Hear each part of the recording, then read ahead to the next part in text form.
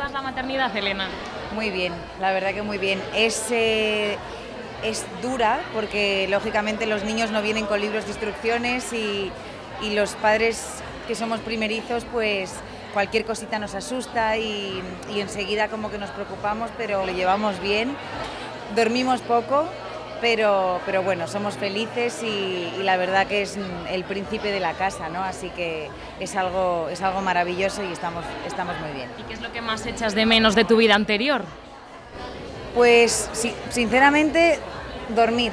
La verdad que es un santo, o sea, apenas tiene cólicos y duerme bastante bien, lo que pasa que se despierta porque bueno, es un bebé de un mes y pico, ¿no? Entonces se tiene que despertar y hacer ruiditos y, y yo, aunque él esté dormido, no puedo dormir profundamente porque simplemente por saber que él está ahí, ¿no? Pues es eh, como que tienes que estar más atenta, pero, pero es un santo mi niño, pobrecito.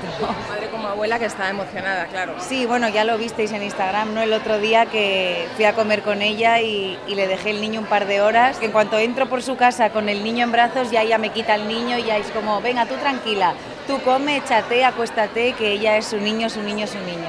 Está muy contenta. La verdad que mi familia desde bueno, desde que di la noticia que estaba embarazada, he sentido un amor y un cariño por, por parte de todos. Eh, llegó de esta manera inesperada y nadie puso ninguna pega. Es el niño nuevo de la casa, ¿no? Y, y, mi tía Rosario cada vez que viene a Madrid está loca por verle. Mis primas, mi prima Alba, mi prima Lola, eh, o sea, toda la familia, los amigos más cercanos de la familia también. No paro de recibir regalos, muestras de cariño, de amor y eso es lo más importante, ¿no? que, que sea un niño que crezca bien, que crezca sano, que se sienta querido y ya está.